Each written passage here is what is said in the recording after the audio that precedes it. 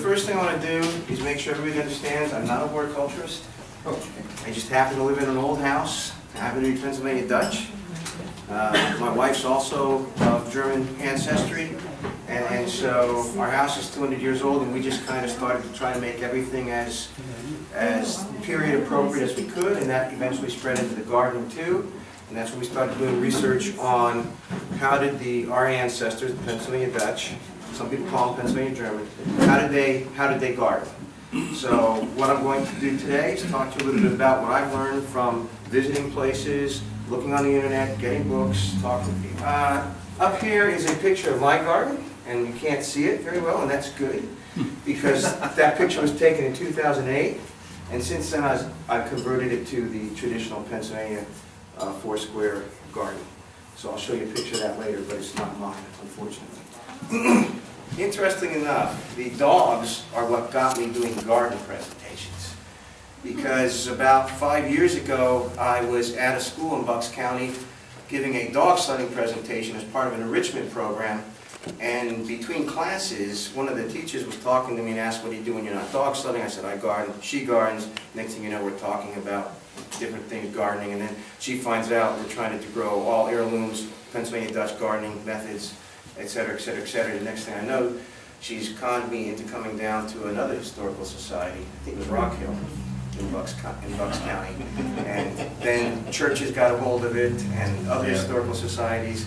So it started with dog sledding demonstrations and now it's dog sledding demonstrations and, uh, and gardening talks. It's all year round. Today, we talk about why I'm interested in Pennsylvania Dutch methods. I'm going to use Pennsylvania Dutch and Pennsylvania German interchangeably. Hope that doesn't offend anybody.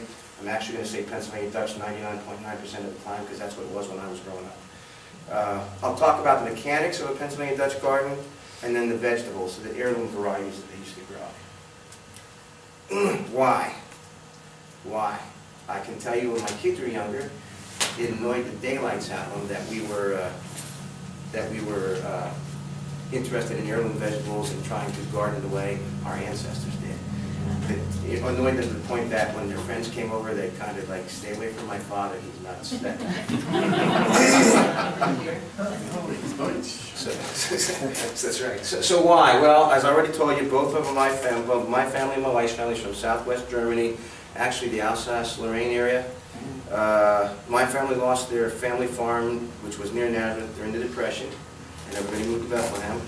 My wife's family is still farming in upstate New York around Lowville, which nobody knows where it is because there's, you know where Lowville is? I do. And how do you know where Lowville is? I used to live in Syracuse, New York. Okay, all right. Because there's more cows in Lowville than there are people. Yes. Probably.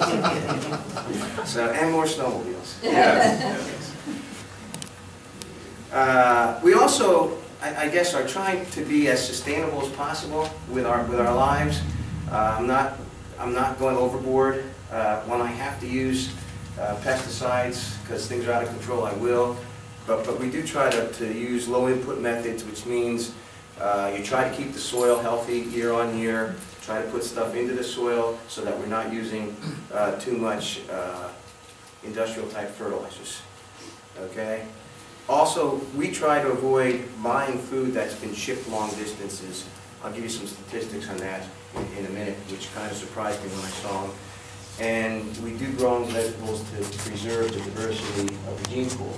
Something else a lot of people may not realize is if you grow your own vegetables and you save your seeds year to year, they will adapt specifically to the microclimate that, that you're growing them in. Mm-hmm. And you will get higher yields after four or five years of saving seeds and growing them. Mm. So it's, it's worth it if you're a serious garden for that long. Uh, One of the things you'll, you'll read about a lot is, is the hybrids, hybrid vegetables generally are, are known to have better taste than uh, the commercial varieties. And that's because you're growing vegetables 100 years ago? Did I say that reversed? I think you did. My brain's saying that wasn't right, back up. Backspace, backspace, backspace. Back, backspace, thank you, yes. Yes, it's the, it's the heirlooms that, that generally taste better than the hybrids because uh, back when people were growing their own food, they would select seeds from the plants that, that had the desirable characteristics. People weren't concerned so much about what they looked like, they concerned about how they yielded, and what, how they tasted, and how well they held their, their flavor and their quality. And, and so that's what you got from the heirlooms. Some of the tomatoes, well, at least the one, the Howard German that's over there, is one of the ugliest tomatoes you will ever see. But if you make your own paste, you ought to consider the Howard German tomato as an option. Uh, It's a, it's a very dry tomato with a very small seed pocket. So it's, it's a lot easier than taking a beef steak and trying to boil that down. And we live in a 190-year-old farmhouse now. And we're trying to be more self-sufficient, and it just seems nice to have the traditional garden out next to the house than, than what we used to have. Okay, uh, here- here's my boring facts on sustainability, okay? Seventy percent of US energy consumption goes into agriculture. That shouldn't be a, a big surprise to anybody. Agriculture is very energy intensive, especially when you consider the first fertilizers and the insecticides, most of which are made from petrochemical products. Four-fifths of the total, four-fifths of that seventy percent is actually used to ship food. Okay? If you think about it, an awful lot of what we, that we buy in the grocery store is coming from California or Florida. And California's not looking good this year. The droughts, uh, Serious. so if you're not growing a garden, you might want to consider it. Each item, each item, this one blows me away, each item in a typical US meal has traveled 1,500 miles. That's on average. And that's because of the fact that so much of our food is also imported. So what can you do? Eat and buy local. You see an awful lot of restaurants that are right now pushing the fact that they sell locally grown food. We, when we go out to eat, we do try to go to those restaurants. If each of us ate one meal per week of locally raised organic food, we would reduce our oil consumption by 1.1 million barrels per week. That's a phenomenal number, okay? And that's doable. That's, that's easily doable, yes. Uh, The other thing that Carolyn and I try to do is we try to eat as much in season as possible. Uh, Part of that is again to try to understand what it was like for our ancestors who who weren't going to have tomatoes in January, February. And part of that is, is just, I guess, just to see if we can do it. Which means we're growing some of this stuff that people don't eat that much anymore, like rhubarb. Uh, Asparagus, people still eat a lot of it, but we're growing Winter squash is really big in our house because you can put them in the root cellar and you can eat them for 10 months after you harvest them. We maximize our use of personal garden inputs. Uh, We compost all of our vegetable and lawn waste. Uh, We heat the back half of our house with wood stoves. We have three wood stoves. Uh, We we take the wood off of our own land. So, so at this point, we're, we're not, we're not going to, we're not using so much wood that the forest is gonna go away. But we'll put the ashes in the garden because they're a good source of potash. Uh, I mentioned earlier, my daughter was an equestrian at Penn State. When she moved to Baton Rouge, she was good enough to leave her two horses with us, so we still have plenty of horse manure. And uh, we save our own seeds. Just a bit about how we we do it and what we do. Now, there's probably people here that remember different things from when they were growing up that are gonna conflict with this. Let's talk about it, because I'm always trying to hear what people have experienced.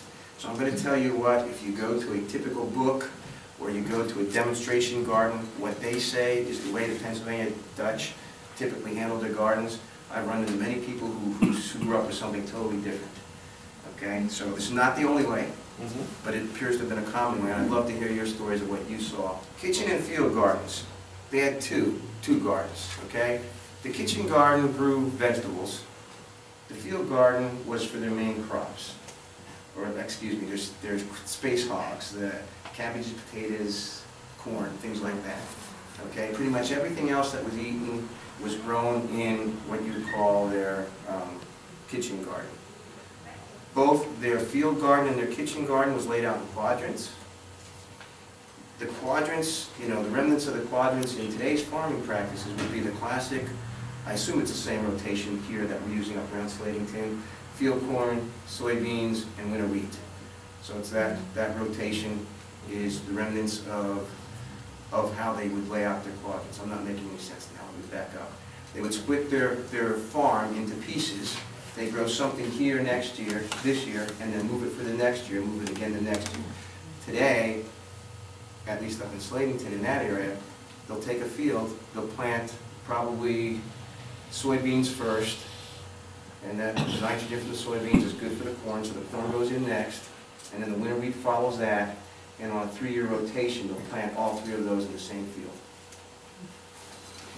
The oldest surviving plans, the oldest documentation of a garden laid out in quadrant came from Switzerland about 800 AD. So that's uh, over 1,200 years ago.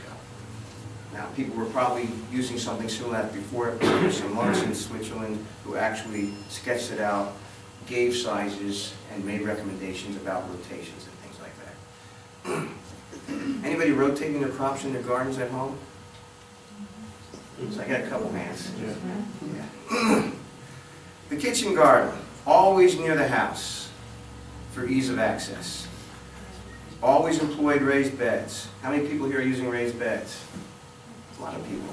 Now, you, folks that are using, is that something that you were doing when you were growing up too, or is it just something you adapted later in life?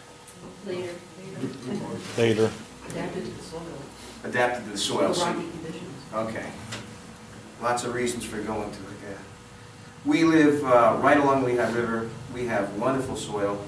The only reason we have uh, raised beds is because we're trying to make it look as much as one of these as possible. Um, The nice thing about raised beds, though, is, as I'm sure those of you who them know it, it really helps drain the water out in the spring. They dry up quicker than if they're not raised. It's really easy to rotate crops. I know I have four squares now, so tomatoes are in square A this year. It'll be four years before they get back to square A, and it makes rotating crops to manage pests a lot easier. You don't have to think, you just have to remember where they were the year before. Um, Kitchen gardens were generally used to grow vegetables, small fruits, and herbs. They grew a few flowers, but, but there wasn't a lot of space allotted in a traditional Pennsylvania Dutch garden to flowers. It was all useful plants from a perspective of either medicine or, or food. Men built the beds, spread manure and turned the soil. The women planted seeds, weeded and harvested. And my really comment there is because I don't see any women planting seeds, weeding or harvesting in my garden, so. Wherever they are, if you could send them up to Slatington, I would appreciate it. She takes care of my sled dogs, though, when I go out of the country on business, so I can't say too much about not being active in the garden. You teach the tomatoes how to howl. We we have plenty of howling. Uh, The field garden, it usually went where the soil was best, not necessarily close to the house, so you might have to take a walk to get to the field garden.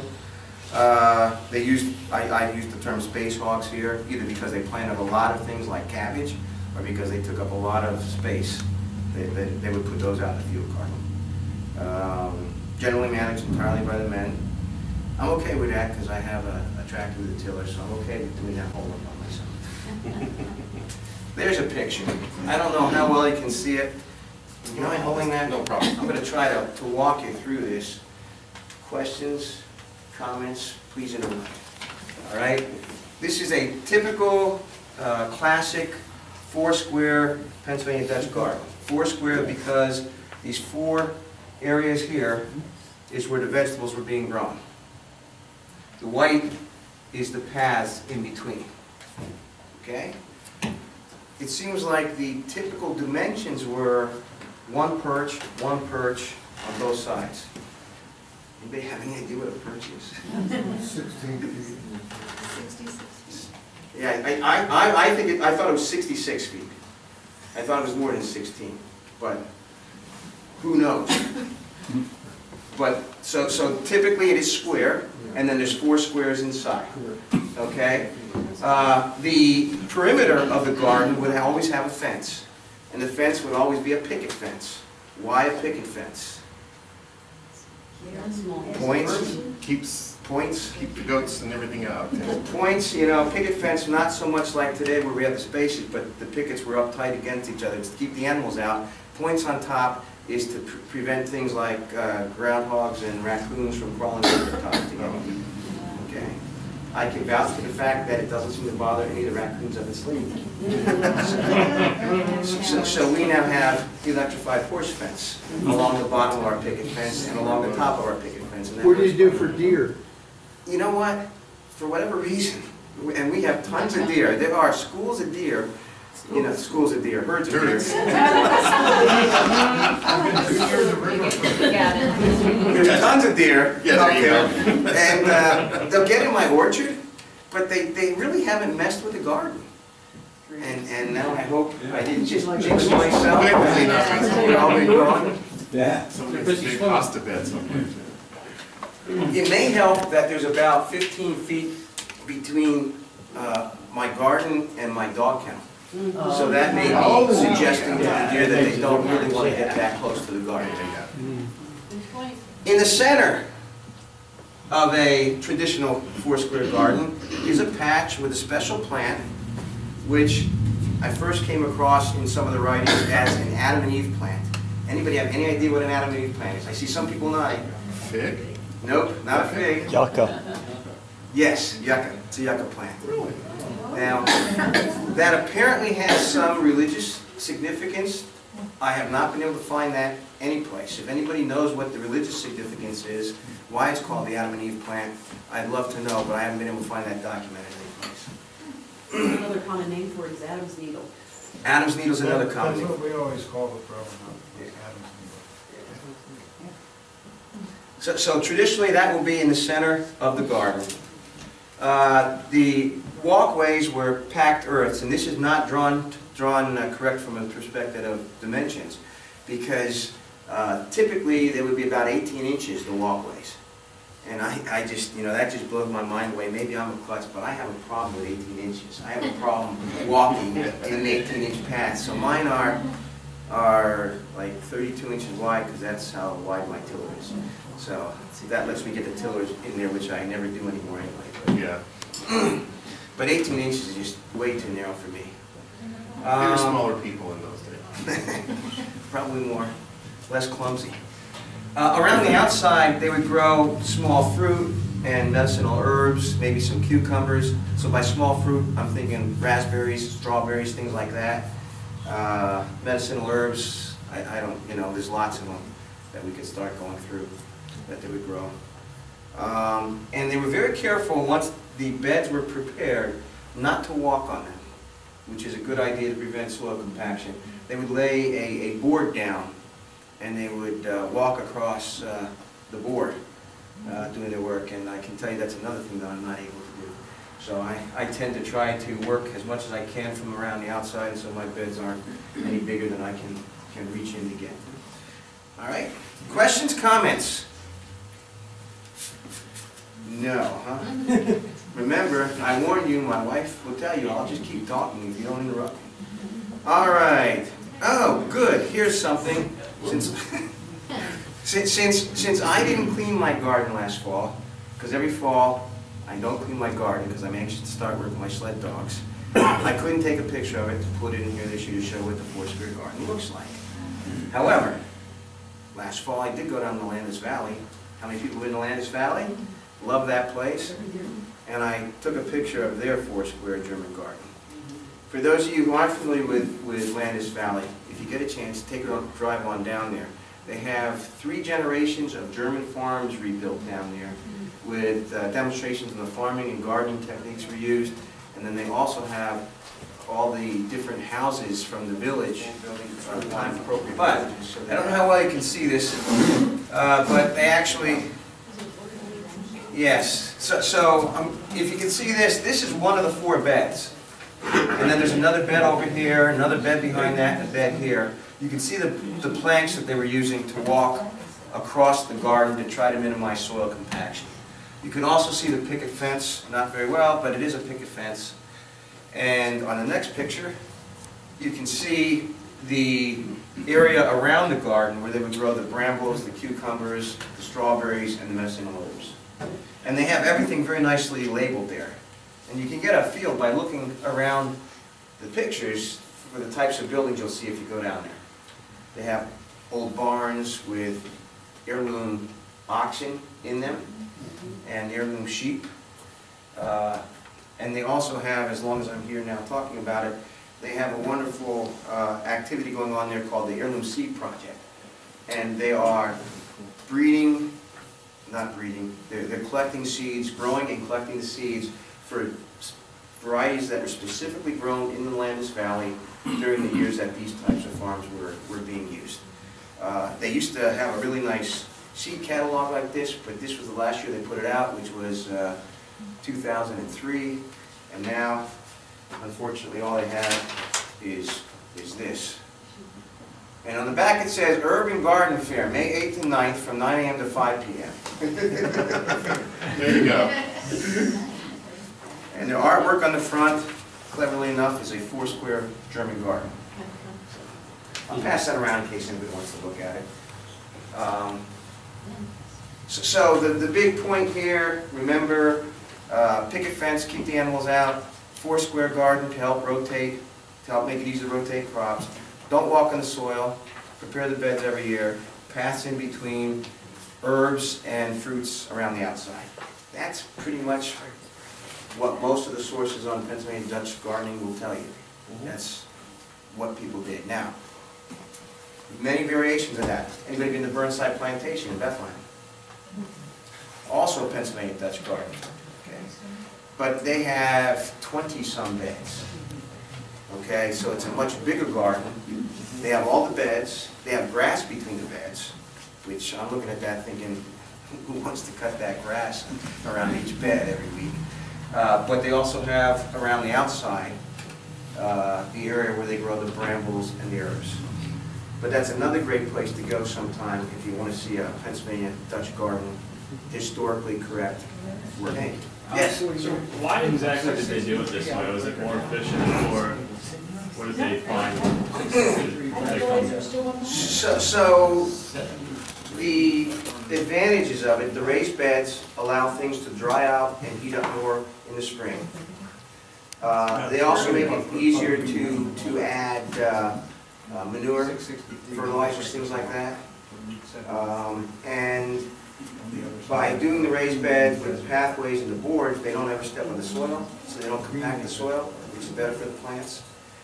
It's easy way to do crop rotation, because you just, my tomatoes were good last year, I'm going to one bed over this year. So th- that combination is what led to, that. Uh, you know, Pennsylvania Dutch, actually they're the Germans, so I'm not sure this applies strictly to Pennsylvania Dutch. But apparently they were the first to pen their animals.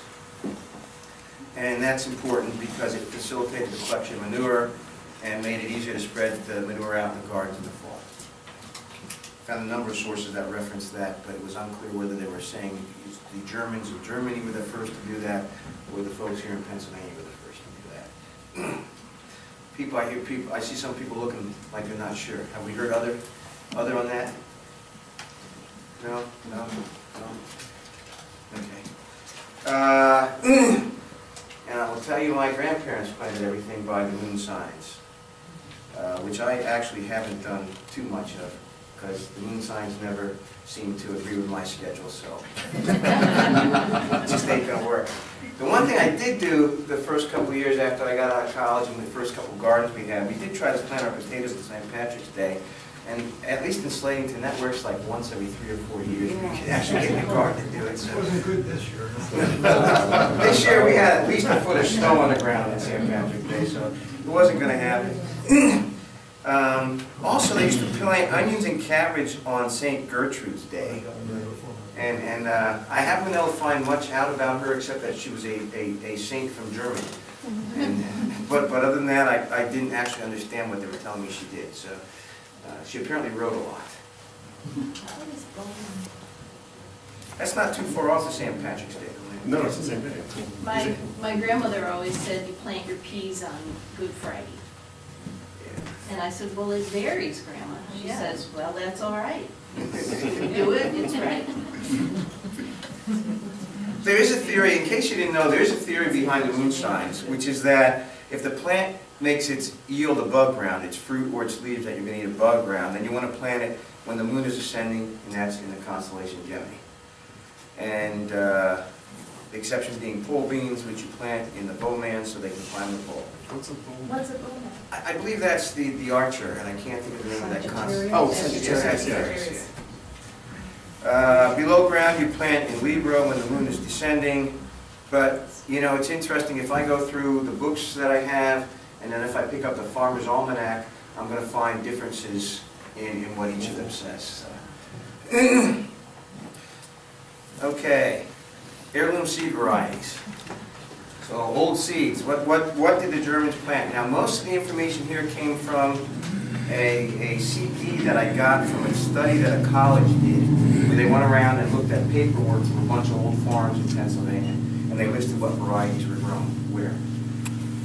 Okay? For what it's worth, Gudasumi, Guda, I can say that, Gudasum, Gudagard.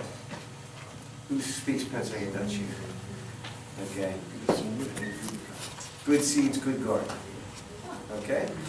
To this day, this is a quote out of one of my books here, I believe it's this one, on heirloom vegetables, just a reference I used to, to get information on heirloom vegetables.